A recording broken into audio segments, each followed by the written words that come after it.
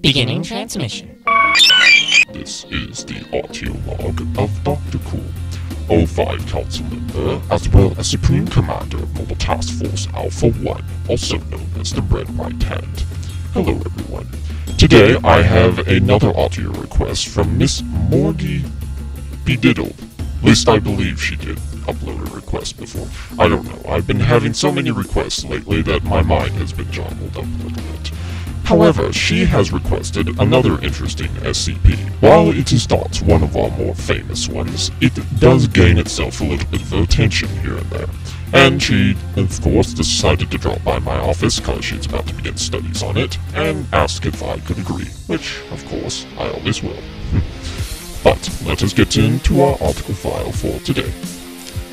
Item number SCP-303, Object Class Euclid. Special Containment Procedures. As SCP-303 has not yet been known to travel beyond the boundaries of Site, the entire area of Site is currently considered SCP-303's containment area. All rooms in Site ought to be altered where possible so as to have two entrances separated by a distance of 10 meters of or line of sight. Personnel ought to be distributed evenly throughout the site, with available radio or intercom contact, so that encounters may be resolved quickly.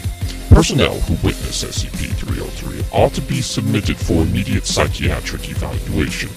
All SCP objects housed at site, since before 6410, ought to be transferred to Site-B, one at a time.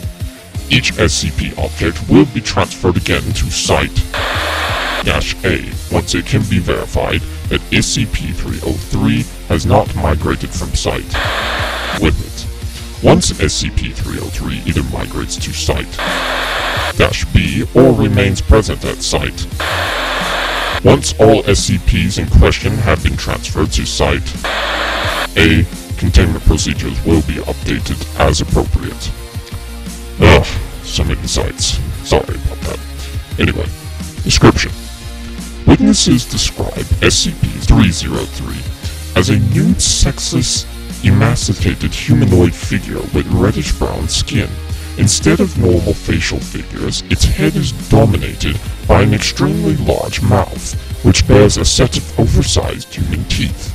It continually vocalizes a wheezing noise loud enough to be heard from the other side of most solid doors.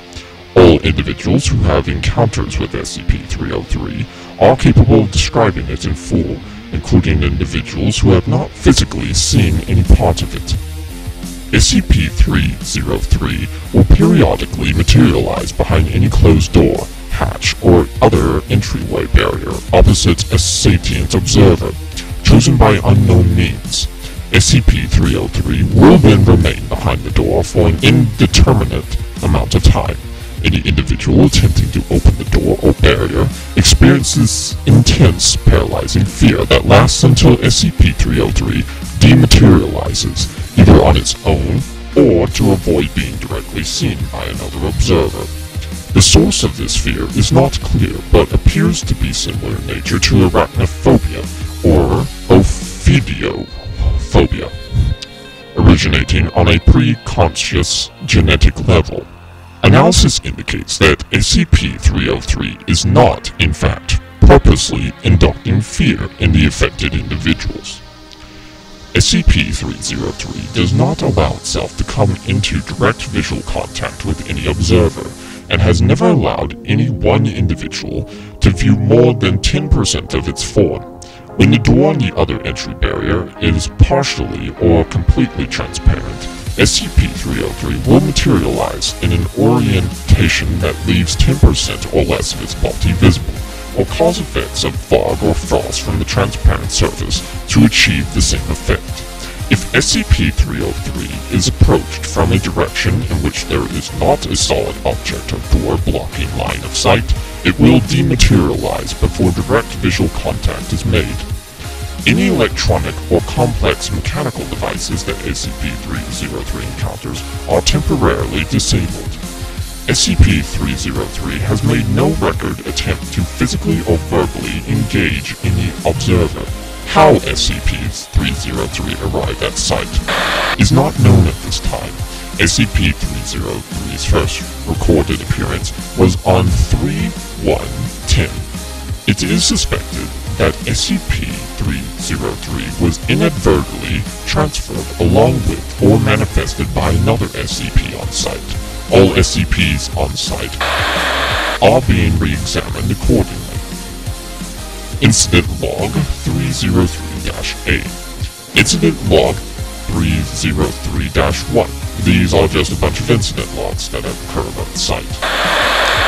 Agent was showering in her private quarters bathroom when she became aware of the presence of SCP-303 on the opposite side of the shower curtain. It was wheezing extremely loudly. Startled by the discovery, she accidentally struck the shower curtain, causing it to sway outwards. The curtain partially wrapped around SCP-303, revealing that it was standing less than 0.5 meters from the curtain, standing erect and facing the shower. Agent reports sending approximately the next three hours sobbing in the shower, quietly, as not to disturb SCP-303. Agent reported that the wheezing stopped very suddenly, at which point in time she was able to exit the shower. Incident 303-3 Agent encountered SCP-303 inside the site second floor break room. He was attempting to obtain coffee creamer from the counter cabinet when he heard loud wheezing emanating from the cabinet and was overtaken by overwhelming fear. Agent later reported that SCP-303 was huddled in the cabinet in a fetal position. Agent claimed to be certain of the information despite failing to open the cabinet door. Later, when the cabinet was examined, one container of powdered coffee creamer was missing.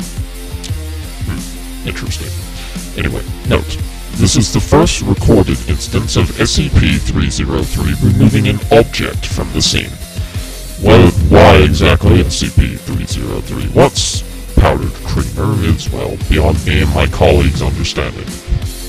Anyway, Incident 303-6. Doctor was discovered dead from dehydration in the second floor storage room. It is estimated that Doctor spent up to five days in the storage room before being discovered. A small 40 meter times 40 meter decompression chamber separated the storage room from the adjoining hallway. SCP-303 occupied the decompression chamber for the duration of Dr. Isolation in the storage room, disallowing entry from either direction and making it impossible for Doctor to leave. Now, Test Log 303-A, a team consisting of Doctor, Researcher, four security personnel and four D-Class personnel were assigned to be dispatched to any reported incident of SCP-303's materialization in order to immediately perform an on-site testing. These logs taking place at the door to room.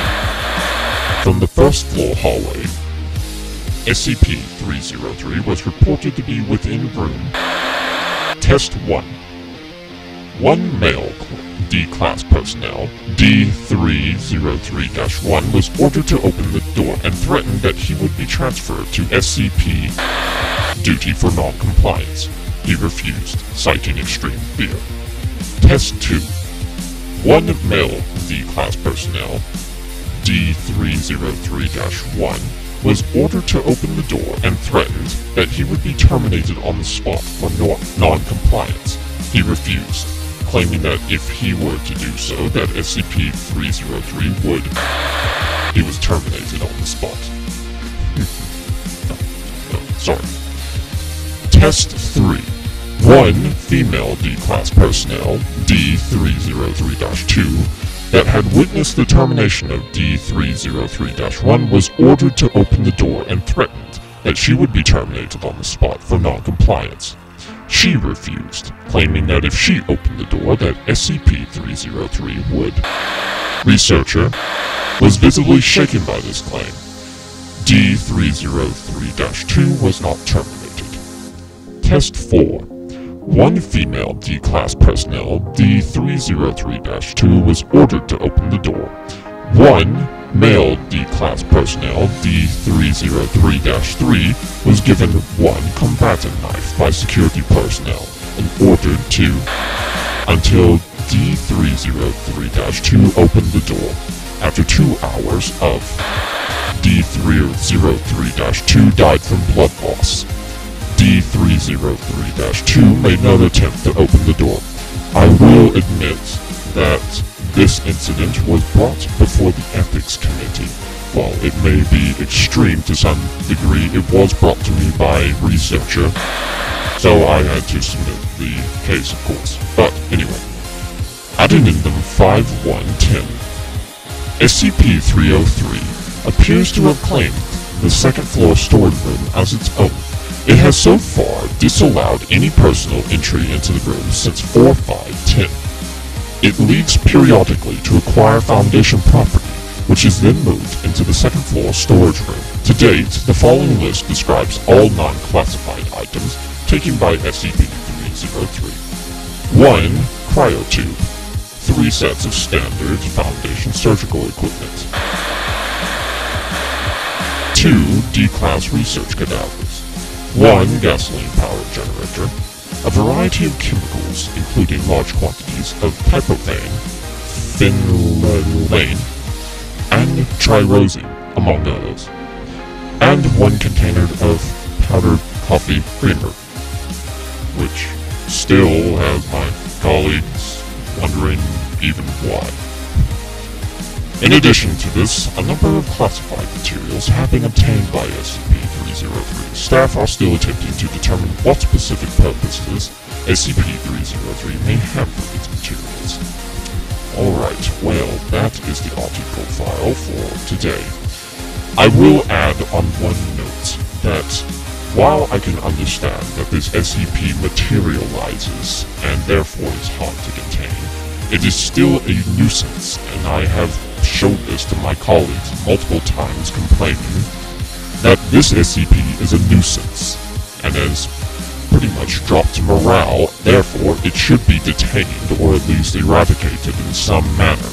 I have offered my Mobile Task Force Alpha 1 services, however my colleagues say that this is the best option for it. Ugh, I swear. Bureaucracy.